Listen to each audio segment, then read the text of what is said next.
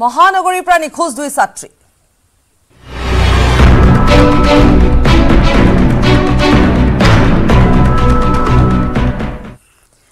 আৰু big breaking news দুগৰাকী ছাত্ৰী নিখোজ হৈছে। মহানগৰীৰ পৰা নিখোজ হৈছে দুগৰাকী ছাত্ৰী। ছাত্ৰীৰ মোবাইলৰ পৰা বিস্ফোৰক মেছেজ পোৱা গৈছে। পাঁচ বছৰৰ পিছত সফল হৈ ঘূৰি আহিব বুলি। তেওঁলোকে ভাতৃলৈ হোৱাটছএপ মেছেজ দিছে। আৰক্ষী আৰু সংবাদ মাধ্যমে কোনো কাৰণে তেওঁলোকক বিচাৰি উলিয়াব নোৱাৰে বুলিও তেওঁলোকে চেলেঞ্জ দিছে প্ৰত্যাহ্বান জনাইছে। বৰ্তমান ইণ্টাৰনেট জগতখনৰ সৈতে ছ'চিয়েল মিডিয়াৰ পৰা সম্পূৰ্ণ দূৰত আছো বুলিও মেছেজত উল্লেখ কৰিছে। বন্দিতা আৰু মধুস্মিতাক বিচাৰি সময় নষ্ট নকৰিবলৈ মেছেজত আহ্বান জনাইছে। এয়া দেখুৱাইছো আমি মেছেজটো য'ত তেওঁলোকে বিভিন্ন ধৰণৰ কথা লিখিছে ক'ত আছা মাইনা বুলি ঘৰৰ পৰা যেতিয়া দিয়া হৈছে টেনশ্যন ল'ব নালাগে একো নাই আমি ভালে আছোঁ। আৰু আমাৰ নিজৰ মৰ্জিত ঘৰৰ পৰা ওলাই আহিছোঁ। এনেকুৱা ধৰণৰ বাট অশান্তি পাইছিলোঁ বিভিন্ন ধৰণৰ কথা লিখিছে এটা দীঘলীয়া মেছেজ হোৱাটছএপ মেছেজ অহাৰ পিছৰে পৰা দুই ছাত্ৰীৰ সৈতে বিচ্ছিন্ন হৈ পৰিছে যোগাযোগ। ইতিমধ্যে ঘটনা সন্দৰ্ভত মুছলমান সম্প্ৰদায়ৰ যুৱকৰ নাম উল্লেখ কৰি নুনমাটি থানাত গোচৰ ৰুজু কৰিছে ছাত্ৰী দুগৰাকীৰ পৰিয়ালে। সৰস্বতী পূজাৰ দিনাই নুনমাটিৰ দুই ছাত্ৰী নিখোজক লৈ এতিয়া চাঞ্চল্যৰ সৃষ্টি হৈছে।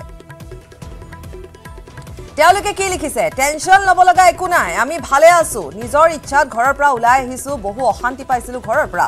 পাঁচ বছৰ সকলোৱে অপেক্ষা কৰক। কিয়নো আমি এতিয়া ঘূৰি যোৱাৰ কথা ভবাই নাই। আমি ঘৰৰ পৰা ওলাই অহাৰ কাৰণে কোনো মানুহৰ একো হাত নাই। গতিকে কোনেও যাতে চিন্তা নকৰে নিউজত যাতে আমাৰ ফটো ভাইৰেল নকৰে আমাক কল ট্ৰেকিং কৰিও লাভ নাই। কিয়নো আমি ইণ্টাৰনেট জগতখনৰ লগতে ছ'চিয়েল মিডিয়াৰ পৰা বহুত দূৰত আছো। গতিকে আৰক্ষী আৰু মিডিয়াই আমাক বিচাৰি পোৱাটো অসম্ভৱ। ফটো ভাইৰেল কৰিও লাভ নাই। গতিকে আমি পাঁচ বছৰৰ পিছত সফল হৈ একেলগে দুয়োগৰাকী গৈ আছো। আকৌ এবাৰ অনুৰোধ কৰিছো যে বন্দিতা আৰু মধুস্মিতাক বিচাৰি সময় নষ্ট নকৰিব। গতিকে বন্দিতা আৰু মধুস্মিতাৰ মৰমৰ মা পাপা আৰক্ষী আৰু মিডিয়া আপোনালোকে বেলেগ বিষয়ত গুৰুত্ব দিয়ক। বুলি তেওঁলোকে লিখিছে। তাৰপিছত আৰু বহু দীঘলীয়াকৈ লিখিছে। কিয়নো তেওঁলোকে লিখিছে কিন্তু পৰিয়ালৰ লোকৰ সন্দেহ এগৰাকী যুৱকৰ ওপৰত আৰু সেই যুৱক যুৱকগৰাকীৰ বিৰুদ্ধে তেওঁলোকে ইতিমধ্যে এজাহাৰ দাখিল কৰিছে। যিয়ে নহওক কিন্তু তাৰ পিছতে ভাতৃলৈ যেতিয়া এই মেছেজটো আহিছে আৰু এই দীঘলীয়া মেছেজটোৰ কথা আমি কৈছোঁ ক'ত ক'ত তেওঁলোকে কি লিখিছে? তেওঁলোকে কৈছে যে আমাক বিচাৰি সময় নষ্ট কৰিব নালাগে অন্য কামত আপোনালোকে মূৰ ঘমাওক। আমি নিজে ঘূৰি আহিম আমি পাঁচ বছৰৰ পিছত ঘূৰি আহিম আৰু পাঁচ বছৰৰ পিছত আমি সম্পূৰ্ণ সফল হৈ ঘূৰি আহিম। গতিকে তেতিয়ালৈকে আপোনালোকে অপেক্ষা কৰক আমাক লৈ মূৰ নঘমাব আমি ভালে আছোঁ ঠিকে আছোঁ। আৰু লগতে তেওঁলোকে উল্লেখ কৰিছে যে আমি কিছু অশান্তিত আছিলোঁ। গতিকে আমি নিজৰ বাবে ওলাই আহিছোঁ। আমি ছাকচেছ হ'বৰ বাবে সফল হ'বৰ বাবে ওলাই আহিছোঁ। বন্দিতা আৰু মধুস্মিতাক আপোনালোকে নিবিচাৰিব ছ'চিয়েল মিডিয়াত ফটো ভাইৰেল নকৰিব। আৰু আৰক্ষীয়েও অন্ততঃ অযথা ব্যস্ত আমাক লৈ নহ'ব বুলি তেওঁলোকে মেছেজটোত উল্লেখ কৰিছে। বজাত থৈ আহিলো স্কুলত। তাৰপিছত এঘাৰটা বজাৰ পৰা আপোনাৰ আহি গ'ল আপোনাৰ হেৰি তিনিটামান বজাত আকৌ ঘৰত আহিছিল ঘৰৰ পৰা আহি কেনে যি ওলাই গ'ল তেতিয়াৰ পৰা আৰু নাই আৰু। এতিয়ালৈকে অহা নাই। আৰু এটা এনেকে এটা মেছেজ দিছে মানে হোৱাটছএপত যিজনী ছোৱালীৰ নম্বৰটো আছিল আৰু সেই হেৰি কি বুলি কয় আপোনাৰ মানে বন্দিতাজনী আমাৰ ভণ্টিৰ লগৰজনী। তাৰপিছত এনেকে মেছেজ এটা দিছে যে এনেকা মানে মিডিয়া হওক পুলিচ হওক এনেকা মানে কিবা এটা মানে চেলেঞ্জ টাইপ এনেকা এটা বম লম্বা মেছেজ দিছে। সেইটো মেছেজ আপোনালোকক দিছোৱে মই অলৰেডি সেইখিনিয়ে আৰু। সেইখিনিয়ে এতিয়ালৈকে গম পাইছো। বাকী এতিয়া কৈছে অচি ছাৰে ট্ৰেকিঙত আছে বুলি কৈছে। বাকী সেইখিনিয়ে জানো আৰু তাৰলৈকে আৰু বেলেগ একো ডিটেইলছ পোৱা নাই। আৰু। সেইটোৱে। আৰু বাকী এনেকে মাহঁতৰ লগত ভইচ মেছেজ কৰি আছে। ফোন কৰা নাই কিন্তু ভইচ মেছেজ কৰি আছে। অজয় বৰ্মন আছে আমাৰ সৈতে ফোন যোগে সংযুক্ত হৈছোঁ। লাইভত আছোঁ আমি। অজয় আপোনাৰ ওচৰলৈ আহিছোঁ আৰু যিহেতু গোটেইখিনি কথা এতিয়া এক প্ৰকাৰ পৰিষ্কাৰ যুৱতী দুগৰাকীয়ে নিজে লিখিছে হোৱাটছএপ মেছেজ কৰিছে যে আমি থাকিব নিবিচাৰোঁ আমাৰ অশান্তি হৈছে। তাৰ পিছত ঘৰৰ মানুহে সন্দেহ কৰিছে যে এজন যুৱকে হয়তো তেওঁলোকক ফুচুলাইছে ফুচুলাই তেওঁলোকক লৈ গৈছে। সেই যুৱকগৰাকীৰ বিৰুদ্ধে এজাহাৰ দাখিল কৰিছে। এতিয়া কথা হৈছে আমি জানিব বিচাৰিছোঁ যে তেওঁলোকে কেনেকৈ সন্দেহ কৰিলে যে সেই যুৱকগৰাকীয়ে সঁচাকৈ তেনেকুৱা ধৰণে তেনেকুৱা ধৰণে চেষ্টা কৰিছিল নেকি যাতে তেওঁলোকক লৈ যাব। অজয় আপুনি মোক শুনা পাইছে? অজয় মোৰ প্ৰশ্ন শুনা পাইছে? অজয়? পাপৰি হয় পাপৰি। অজয় আহ, শুনিছোঁ পাপৰি আহ, যিহেতু ইতিমধ্যে যোৱাকালিৰ পৰা যি যোৱাকালিৰ পৰা যি চাঞ্চল্য সৃষ্টি কৰি আছে যে নুনমাটি যি আহ, পঞ্চল্লিছ জাতীয় বিদ্যালয়ৰ দুগৰাকী ছাত্ৰী ইতিমধ্যে সন্ধান নিৰ্ভৰ কথা ইতিমধ্যে চাঞ্চল্য সৃষ্টি কৰিছে। আৰু ইতিমধ্যে আপুনি জনাইছে যে এটা মেছেজ প্ৰেৰণ কৰিছে ইতিমধ্যে এটা মেছেজ প্ৰেৰণ কৰিছে ইতিমধ্যে পৰিয়ালৰ লোকলৈকে যে তেওঁলোকক বিচাৰি কোনো লাভ নাই। কিয়নো ইতিমধ্যে আমি জানিব পৰা মতে পৰিয়াললোকে বিভিন্ন সময়ত তেওঁলোকক কিন্তু পঢ়াৰ কাৰণে বিভিন্ন গালি গালাজ কৰিছিল আৰু গালি গালাজত প্ৰতিষ্ঠিত হৈ কিনে কিন্তু তেওঁলোকে যোৱা বুলি একাংশ লোকে কিন্তু প্ৰচাৰ কৰিছে আৰু সামন্তলকৈ কিন্তু যিটো মেছেজ সেই মেছেজটো কিন্তু তেওঁলোকে নিলিখা বুলি ইতিমধ্যে আন একাংশৰ আমি ভাষ্য ইতিমধ্যে প্ৰেৰণ কৰিছোঁ। কিন্তু এতিয়া ৰহস্যৰ আৱৰ্তত হৈ আছে যিহেতুকে তেওঁলোকৰ মোবাইল অফ আছে কিন্তু তেওঁলোকে ৱাই ফাইৰ জৰিয়তে তেওঁলোকৰ মোবাইলৰ যি হটস্পট হটস্পট অন কৰি কিনে তেওঁলোকে কিন্তু যি হোৱাটছআপ হোৱাটছআপ কিন্তু তেওঁলোকে যোগাযোগ সম্পূৰ্ণভাৱে পৰিয়ালৰ লগত ৰাখিছে। কিন্তু ক'ত আছে কি আছে এতিয়ালৈকে আৰক্ষী ট্ৰেক কৰি আছে কিন্তু কিছু সময় পিছত হয়তো গম পোৱা যাব।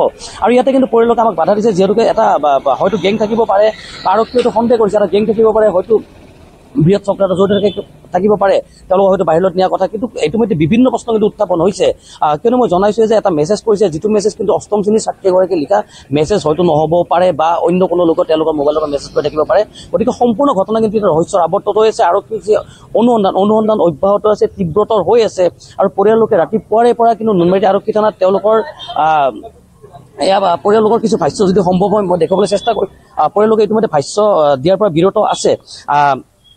যিহেতুকে মই জনাইছোঁ আৰক্ষী খুব ক্ষিপ্ৰতাৰে গোটেই ঘটনাটো ৰাতিৰ বেগতো ৰাতি আমাৰ আৰক্ষী যি যি থানাৰ যি ভাৰপ্ৰাপ্ত বিষয়া ভাৰপ্ৰাপ্ত বিষয়াগৰাকীয়ে জনোৱা মতে তেওঁলোকে ৰাতিপুৱাই আহ, চাৰি পাঁচ বজালৈকে তেওঁলোকে কিন্তু তদন্ত চলাই আছে। আৰু এতিয়াও আৰক্ষী বিষয়াজনে ওলাই গ'ল হয়তো কিছু তথ্য পাইছে হয়তো কিছু সময় পিছত গম পোৱা যাব বা ক'ত গৈছে বা কি হৈছে পাপৰি।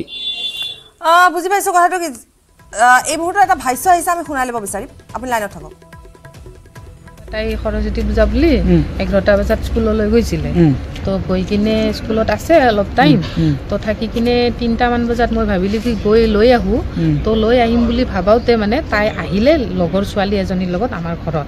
তো তাইৰ লগত আৰু তাইৰ ভাইটি টুইটি মানে তাই আমাৰ ঘৰত আহিলে। আহোঁতে মই ক'লোঁ যে তেনেহ'লে আমিও ক'ৰবাত অলপমান যাব ওলাইছোঁ তোমালোকে যদি বলা আমাৰ লগত বলা। তো তেনেকৈ কোৱাতে তো সিহঁতে ক'লে যে আমি নাযাওঁ এতিয়া তো অলপ ৰেষ্ট লওঁ। ৰেষ্ট লৈ কিনে তোমালোকে আহাগে ক'ত যোৱা? মানে ঘৰতে থাকিলে? ঘৰতে থাকিম বুলি ক'লে যে তোমালোকে যোৱা ক'ত যোৱা পুতুককৈ আহিবা আমি ৰেষ্ট লওঁ অকণমান। কাপোৰ চাপোৰ খোলোঁ। তেনেকৈ ক'লে। তো মই কৈছোঁ ঠিক আছে তোমালোকে কিন্তু ক'তো নাযাবা। যদি তোমালোকে ক'ৰবাত যোৱা তো মই লৈ যাম। আকৌ তোমাৰ লগৰজনী মই ঘৰত থৈ আহিম লগা হ'লে। তো আহি মই গ'লোঁ চানমাৰিত গ'লোঁ। তো চানমাৰিৰ পৰা আহি কিনে মানে মই গাড়ীৰ পৰাই নামিছোঁ। নামাওঁতে আৰু এখেতে মোক মানে বন্দিতা ভূমিকৰ মাকে মোক ফোন কৰিলে যে আপুনি ছোৱালীজনী ঘৰত আছেনে নাই চাই লওকচোন তেনেকৈ ক'লে। তো মই গৈ কিনে মানে চালোঁ মই ঘৰত চোৱাৰ আগত মানে মই মই এখেতক আৰু এবাৰ ফোন কৰিলোঁ। মই আপুনি ক'লে কিয় কি কিয় ক'লে? বোলে ল'ৰাটো ঘৰত আহি পাইছে। কোন ল'ৰা? মানে বন্দিতাৰ ভায়েকটো ঘৰ গৈ পাইছে। তো ঘৰ গৈ পোৱা কাৰণে তেখেতে মোক ফোন কৰি কিনে কৈছে যে সেইকাৰণে কৈছোঁ আপুনি ঘৰত চাই লওক। মানে ভায়েকৰ লগতে মানে আছিলে নেকি? আছিলে। তো আছিলে। মই তেতিয়া হাজবেণ্ডক লগে লগে ক'লোঁ যে ব'লাচোন নুনমাটিত বোলে সিহঁতে গৈছে। তো নুনমাটিত এবাৰ চাই আহোঁগৈ। তো নুনমাটিত মই দুই ৰাউণ্ড মাৰিছোঁ। মানে দুইজনীকো মই দেখা নাই। আৰু মই টেম্পু চেম্পুও চেক কৰিছোঁ যে টেম্পুত থাকিব পাৰে হয়তো ঘৰত যাবৰ কাৰণে। দুই চক্কৰ মাৰোতে যেতিয়া মই দেখা নাই মই তাৰপিছত এই আৰু মই আলোচনা কৰিছোঁ যে যদি ইয়াতে নাই তো আমাৰ ইয়াতে ওচৰত যাব লগা জেগা ক'ত আছে? তো মই তেনেকৈ কোৱাতে মই ভাবিছোঁ যে শ্যাম মন্দিৰ আছে ঠিক আছে শ্যাম মন্দিৰ ইয়াৰ পৰাই ওচৰতে তো তাতে যাব পাৰে মানে। তো মই চিধাই এওঁক লৈ কিনে শ্যাম মন্দিৰ গ'লোঁ। শ্যাম মন্দিৰ যাই মই ক'লোঁ ব'লা তাতে যাওঁ যাই কিনে চাওঁ। তো শ্যাম মন্দিৰ গ'লোঁ মানে তাতেও ৰাউণ্ড লগালোঁ দুই ৰাউণ্ড মানে তাতেও নাই। অজয় প্ৰকৃততে ঘৰত তেওঁলোকৰ অশান্তি আছিল সেয়াই একমাত্ৰ কাৰণ।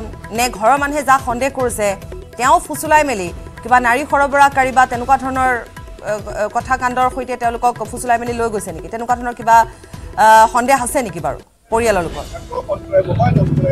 নিশ্চয়কৈ পাপৰি কিয়নো ইতিমধ্যে যি মাতৃৰ ভাষ্য দুয়োগৰাকী যি বন্দিতা ভূমিজ আৰু যি অন্যগৰাকী ছাত্ৰীৰ যি মাতৃৰ ভাষ্য মাতৃৰ ভাষ্য কিন্তু স্পষ্ট হৈছিল তেওঁলোকে যদিও ৰাতিপুৱাৰ ভাগত সৰস্বতী পূজাৰ বাবে স্কুললৈকে ওলাই আহিছিল কিন্তু স্কুলৰ পৰা তেওঁলোকে ঘৰমুখে ৰাওনা হৈছিল।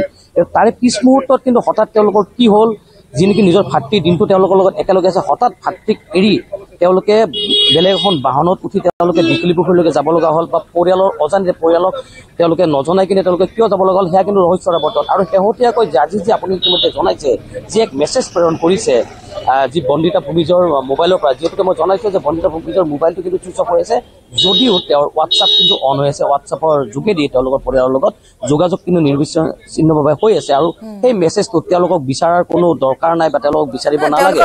তেওঁলোকে লিখিছে যে তেওঁলোকক বিচৰাৰ দৰকাৰ নাই অন্য কামত ব্যস্ত হওক মিডিয়া অন্য কামত ব্যস্ত হওক আৰক্ষী অন্য কামত ব্যস্ত হওক ফটো ভাইৰেল নকৰিব ঠিক আছে। আৰক্ষীয়ে কিবা কৈছে নেকি? বা আৰক্ষীয়ে কেনেকুৱা ধৰণৰ প্ৰক্ৰিয়া আৰম্ভ কৰিছে? নিশ্চয়কৈ পাপৰি ইয়াতে বহুকেইটা দিশৰ কথা আহি পৰিব পাপৰি। কিয়নো মই জনাইছোঁ যে তেওঁলোকে যদিহে নিজৰ মতে গৈছিল কিন্তু তেওঁলোকে পৰিয়ালক কিয় জনোৱা নাছিল বা মেছেজ কিয় তেওঁলোকে কৰিছে আৰু ইতিমধ্যে কথা উত্থাপন হৈছে যে ইতিমধ্যে এজাহাৰত কিন্তু দুজন যুৱকৰ নাম পৰিয়াললোকে উত্থাপন কৰিছে। কিন্তু দুজন যুৱক কোন হয়? তেওঁ স্কুলৰ নে অইন কোনোবাৰ? সেয়া কিন্তু এই মুহূৰ্তলৈকে জানিব পৰা হোৱা নাই। তেওঁলোকে আপুনি জনাইছে দুজন যুৱকৰ নাম কিন্তু এজাহাৰত উল্লেখ আছে। গতিকে আৰক্ষী তদন্ত অব্যাহত আছে এই মুহূৰ্তত দুজন যুৱকৰ নাম যে এজাহাৰত উল্লেখ আছে সেই কথা কেতিয়া জানিব পৰা যাব? সেই দুজন যুৱকৰ কথাটো আৰক্ষীয়ে ক'ব লাগিব। গতিকে সেই দুজন যুৱক কোন হয়? তেওঁলোকৰ বেকগ্ৰাউণ্ড কি? তেওঁলোকৰ ওপৰত আৰক্ষীয়ে কি ভূমিকা গ্ৰহণ কৰিব? আৰক্ষীয়ে কেনেকৈ আৰম্ভ কৰিব? এই গোটেই কথাখিনি কিবা তথ্য আপোনাৰ হাতত আছেনে অজয়? হয়। নিশ্চয় পাপৰি যিহেতুকে আমি ৰাতিপুৱাৰ ভাগৰ পৰা যি পৰিয়ালৰ লোকৰ যি তথ্য পৰিয়ালৰ লোকৰ যি ভাষ্য সংগ্ৰহ কৰিবলৈ চেষ্টা চলাইছে কিন্তু পৰিয়ালৰ লোকে এই মুহূৰ্তলৈকে কোনো ভাষ্য দিয়াৰ পৰা নিশাৰ ভাগত যি। ভাষ্য তেতিয়াহ'লে তাৰ- অজয় আপুনি যেতিয়া ভাষ্য সংগ্ৰহ কৰিব পৰিয়ালৰ লোকৰ প্ৰথম কথা হৈছে যুৱক দুজন কোন কিহৰ বাবে তেওঁলোকক সন্দেহ কৰা হৈছে কি সন্দেহৰ আৱৰ্তত তেওঁলোক কিয় সোমাই পৰিলে বা যদিহে প্ৰকৃততে পূৰ্বৰে পৰা সন্দেহ আছিল গতিকে এই গোটেই কথাখিনি জানিবলৈ চেষ্টা কৰাৰ লগতে আৰক্ষীয়ে কি কয় আৰক্ষীয়ে কেনেকৈ অনুসন্ধান আৰম্ভ কৰিব গোটেই তথ্যখিনি সংগ্ৰহ কৰিব। আপোনাক এই মুহূৰ্তত ধন্যবাদ।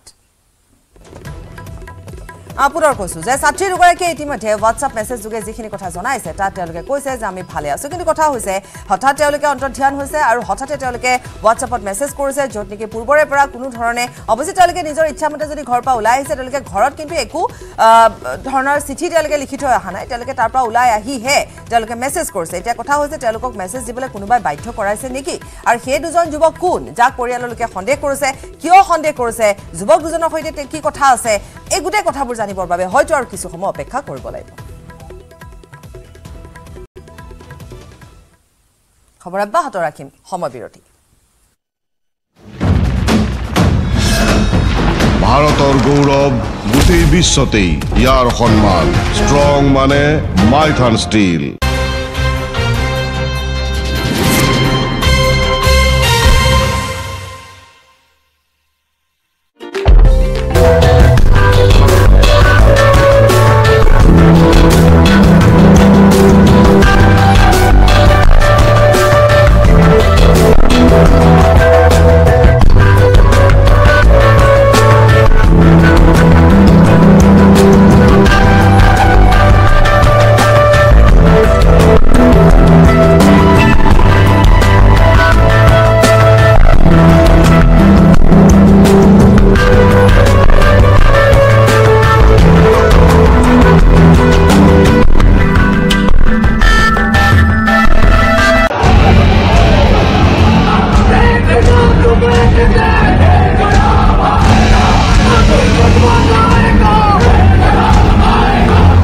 পাকিস্তানৰ অলিয়ে গলিয়ে এতিয়া আৰম্ভ হৈছে প্ৰতিবাদ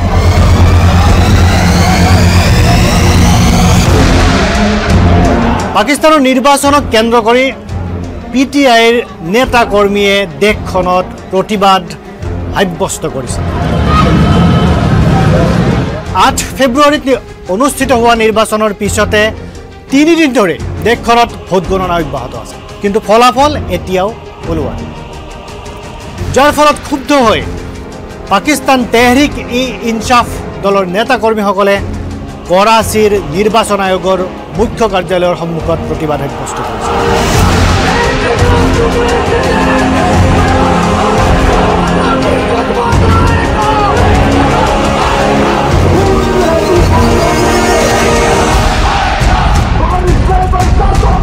পাকিস্তান তেহৰিক ই ইনচাফ নামৰ এই দলটোৰ নেতৃত্বত আছে ইমৰান খান। ইমৰান খান সম্প্ৰতি কাৰাৰুদ্ধ। বিভিন্ন গোচৰত দোষী সাব্যস্ত কৰি কাৰাৰুদ্ধ কৰি ৰখা হৈছে প্ৰাক্তন ক্ৰিকেটাৰ তথা প্ৰাক্তন প্ৰধানমন্ত্ৰী ইমৰান খান। পাকিস্তান তেহৰিক ইনচাফ দলটোৰ নেতা কৰ্মীয়ে যি প্ৰতিবাদ সাব্যস্ত কৰিছে সেই প্ৰতিবাদী লোকসকলক আঁতৰাই পঠোৱাৰ বাবে দেশখনৰ অৰ্থাৎ পাকিস্তানৰ নিৰাপত্তাৰক্ষীয়ে গুলী চালনা পৰ্যন্ত কৰিবলগা হৈছে। আৰু এই গুলী চালনাত ইতিমধ্যে এগৰাকী মহিলা আহত হোৱা বুলি দেশখনৰ পৰা খবৰ পোৱা। পাকিস্তানৰ নিৰ্বাচন আৰু পৰৱৰ্তী সময়ৰ ভোট গণনাৰ সময়ত ব্যাপক ৰিগিং হোৱাৰ অভিযোগ উত্থাপন কৰি পাকিস্তান তেহৰিক ইনচাফৰ নেতাকৰ্মীয়ে এই প্ৰতিবাদ আৰম্ভ কৰিছে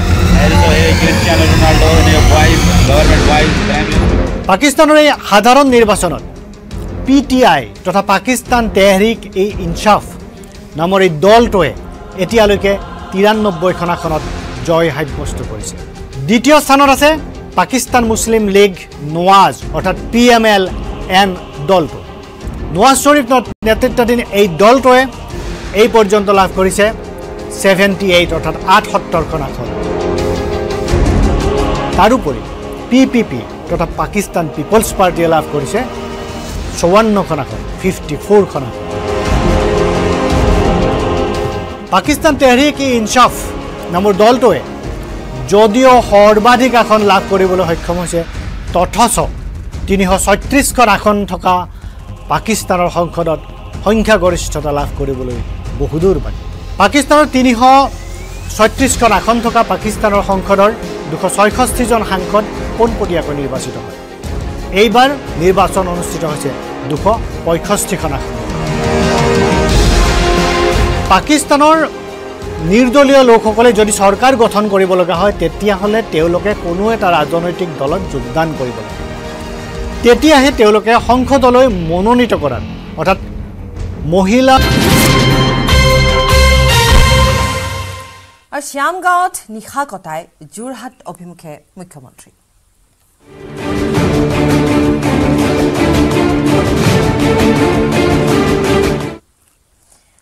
সৰুপথাৰৰ ৰজাপুখুৰী শ্যামগাঁৱত নিশাটো কটাই উভতি আহিল মুখ্যমন্ত্ৰী ডক্টৰ হিমন্ত বিশ্ব শৰ্মা। আৰু উভতাৰ সময়ত অংচা জিলদৈ শ্যাম উচ্চ হাইস্কুলত ছাত্ৰ ছাত্ৰীৰ সৈতে তেওঁ মত বিনিময় কৰে।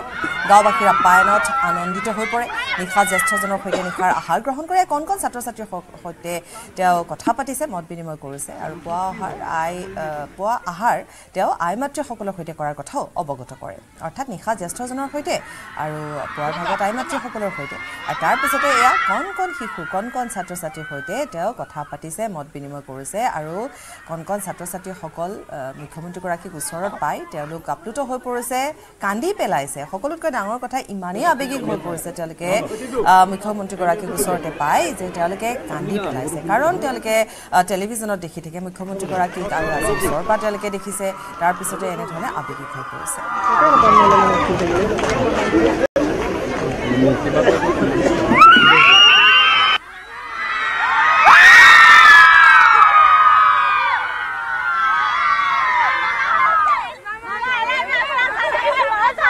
ভাল লাগিলে স্কুল সদায় আহিবি দেই একদম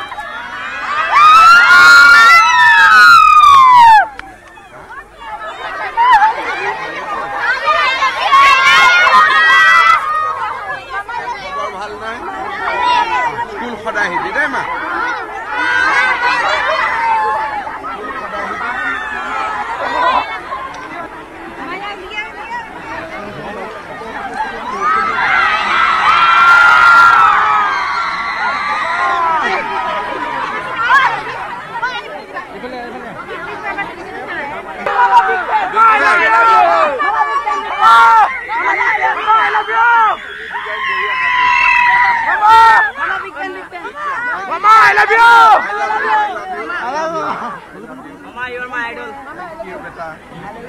ভালকৈ পঢ়িবি দেই আৰু এয়া ছাত্ৰ ছাত্ৰীসকলৰ সৈতে তেওঁ মত বিনিময় কৰিছে। ছাত্ৰ ছাত্ৰীসকলে তেওঁক দেখি কাষতে পাই উৎফুল্লিত হৈ পৰিছে আৰু দেখিবলৈ পোৱা গৈছে তেওঁ যিহেতু আমি কৈছোঁৱেই যে ডেকাসকলৰ সৈতে তেওঁ একে সাংস্কৃতিক অনুষ্ঠানতো অংশগ্ৰহণ কৰে।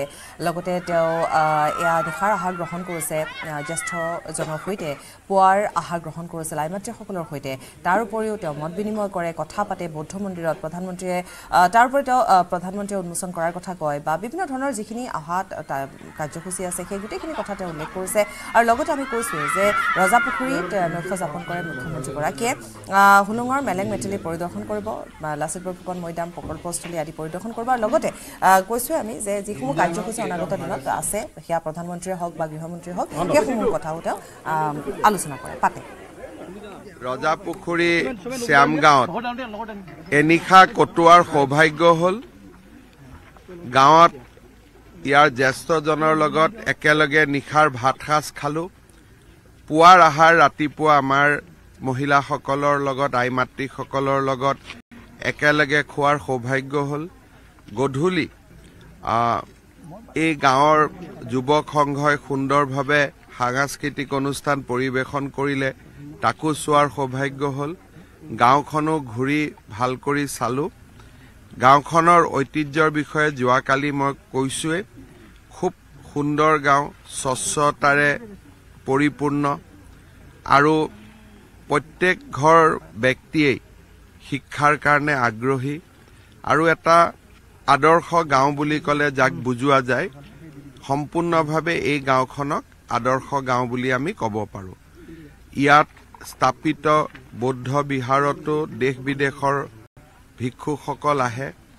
সকলোৱে সুন্দৰভাৱে ধৰ্মীয় অনুষ্ঠান পালন কৰে। জনজীৱনৰ মূল খুঁটিৰ লগতো মিলি আছে গোটেই গাঁৱৰ পৰিয়ালসকল। সঁচাকৈয়ে খুব সুন্দৰ নিশা এটা কটালোঁ। ৰাতি ভাল টোপনিও আহিলে। আৰু মই গাঁওবাসীক ধন্যবাদ জনাইছোঁ। আৰু খন্তেক পিছতে যোৰহাটত মেলেং মেটেলি পথাৰত উপস্থিত হ'ব মুখ্যমন্ত্ৰীগৰাকী। হোলোঙাপাৰৰ মেলেং মেটেলি পথাৰত নিৰ্মীয়মান লাচিত মৈদাম পৰিদৰ্শন কৰিব।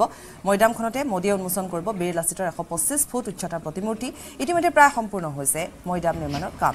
মুখ্যমন্ত্ৰী ভ্ৰমণৰ পূৰ্বে আজি মন্ত্ৰী অজন্তা নিয়োগেও পৰিদৰ্শন কৰে মৈদামখন। দিগন্ত হাজৰিকা আছে পোনপটীয়াকৈ সংযুক্ত হৈছোঁ। দিগন্ত আপোনাৰ ওচৰলৈ আহিছোঁ। কাৰ্যসূচী সন্দৰ্ভত ইতিমধ্যে আমি জনাই গৈছোঁ। বৰ্তমানৰ গোটেই কথাখিনি আপডেটখিনি আপুনি জনাই যাওক। নিশ্চয়কৈ আৰু কিছু সময়ৰ পিছতে পাপৰি আপুনি গোটেই কথাখিনি অৱগত কৰিছে। আৰু কিছু সময়ৰ পিছতেই মুখ্যমন্ত্ৰী ডক্টৰ হিমন্ত বিশ্ব শৰ্মা ঐতিহাসিক লাচিত মৈদামত উপস্থিত হ'ব। যিহেতু লাচিত মৈদামত এক সুবিশাল প্ৰতিমূৰ্তি ইতিমধ্যে নিৰ্মাণ কাৰ্য প্ৰায় সম্পূৰ্ণ হৈছে। আৰু যিটো প্ৰতিমূৰ্তি দেশৰ প্ৰধানমন্ত্ৰী নৰেন্দ্ৰ মোদী ডাঙৰীয়াই এই প্ৰতিমূৰ্তি উন্মোচন উদ্বোধন কৰিব। আৰু যিহেতু ইয়াতে তেওঁলোক অসম চৰকাৰে অসম চৰকাৰে যিহেতু এই যি প্ৰকল্প প্ৰায় এশ পঞ্চাছ কোটি টকা ব্যয় কৰি এই প্ৰকল্প লাচিত মৈদাম স্মাৰক আৰু সাংস্কৃতিক প্ৰকল্প। এই প্ৰকল্পৰ মই কৈছোঁৱে যে লাচিত প্ৰতিমূৰ্তি সুবিশাল প্ৰতিমূৰ্তি অসমৰ অন্যতম একমাত্ৰ প্ৰতিমূৰ্তি যিটো এশ পঁচিছ ফুট উচ্চতাৰ এই প্ৰতিমূৰ্তি উন্মোচন কৰিব। আৰু মই কিছু দৃশ্য দেখুৱাম মোৰ সতীৰ্থই দেখুৱাব। প্ৰায় কাম সম্পূৰ্ণ কৰি তুলিছে। ইয়াৰ যি যি প্ৰতিমূৰ্তি সেই প্ৰতিমূৰ্তি দেখুৱাইছোঁ। এই প্ৰতিমূৰ্তি দিল্লীৰ পৰা বিশেষভাৱে নিৰ্মাণ কৰি অনা হৈছে। আৰু ইয়াতে আঠচল্লিছ বিঘা দুকঠা সোতৰ লচা যি একৰ ভূমি এই ভূমিত আচলতে এই প্ৰকল্প গ্ৰহণ কৰা হৈছিলে। আৰু যিহেতু মাৰ্চ মাহৰ পহিলা সপ্তাহতে এ, দেশৰ প্ৰধানমন্ত্ৰী আহিব প্ৰধানমন্ত্ৰীয়ে এই এই প্ৰতিমূৰ্তি উন্মোচন কৰিব আৰু এখন বিশাল ৰাজহুৱা সভাত অংশগ্ৰহণ কৰিব সম্বোধন কৰিব দেশৰ প্ৰধানমন্ত্ৰীয়ে। মোৰ লগত কিছু আ, বিশেষ বিষয়ববী আছে। অকণমান ওচৰলৈ যিহেতু প্ৰধানমন্ত্ৰীয়ে এই প্ৰকল্পৰ যি অন্যতম এটা গুৰুত্বপূৰ্ণ প্ৰতিমূৰ্তি লাচিত বৰফুকনৰ প্ৰতিমূৰ্তি প্ৰধানমন্ত্ৰীয়ে উন্মোচন কৰিব আৰু কিছু সময় মুখ্যমন্ত্ৰী আহিব। কেনেকুৱা ধৰণৰ কাৰ্যসূচী হ'ব যিহেতু এখন এখন ৰাজহুৱা সভা সম্বোধন কৰিব।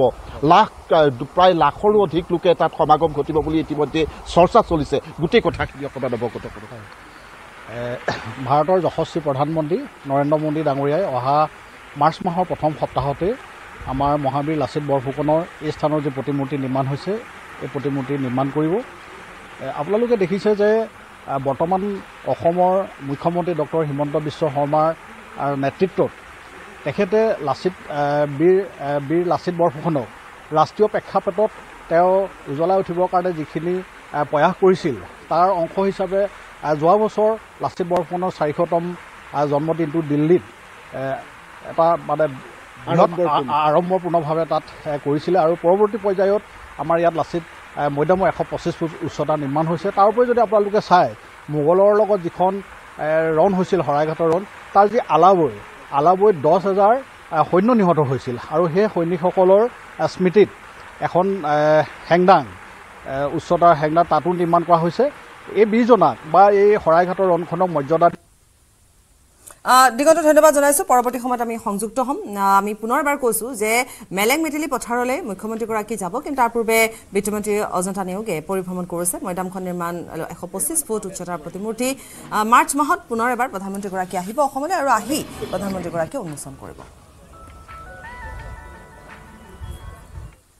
আৰু ইতিমধ্যে আমি কৈছোৱে যে পুনৰ অসমলৈ আহিব প্ৰধানমন্ত্ৰীগৰাকী। মাৰ্চৰ প্ৰথম সপ্তাহত মোদী যোৰহাটলৈ অহাৰ সম্ভাৱনা আছে। নিশা কটাব কাজিৰঙাত প্ৰধানমন্ত্ৰীয়ে উন্মোচন কৰিব লাচিতৰ প্ৰতিমূৰ্তি। মেলেং মেটেলি পথাৰত উন্মোচন কৰিব প্ৰতিমূৰ্তি। আৰু মেলেং মেটেলি পথাৰত আজি মুখ্যমন্ত্ৰীগৰাকী গৈছে গৈছে। আৰু মুখ্যমন্ত্ৰীগৰাকীৰ পূৰ্বে আনকি অজন্তা নেওগেও আহ, মন্ত্ৰী অজন্তা নেওগেও পৰিভ্ৰমণ কৰিছে চাইছে। আৰু মাৰ্চ মাহত যোৰহাটলৈ আহিব প্ৰধানমন্ত্ৰীগৰাকী।